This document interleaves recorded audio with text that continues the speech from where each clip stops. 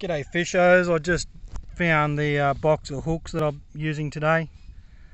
Um, this has a got four in it, but I'm using the, um, it's an Eagle Claw BP Salt Circle. They're a nice heavy duty hook, so I'm using the L2004-10/0. The 90 is also nice, a, a nice chunky hook.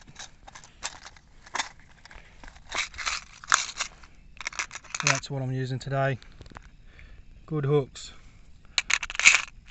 And I would I'd use the 90 as well. Not a, not an issue there. Alright. Just thought I'd make a quick video in case someone wants to know what the hook codes were.